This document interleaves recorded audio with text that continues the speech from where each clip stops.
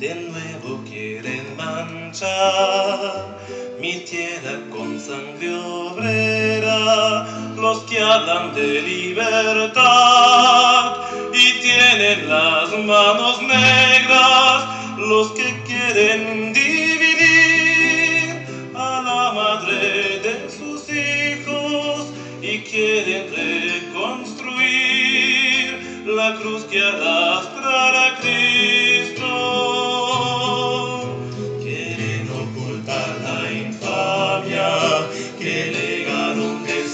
Siglos, pero el color de asesinos no borrarán de su cara. Ya fueron miles y miles los que entregaron su sangre, que en caudales generosos multiplicaron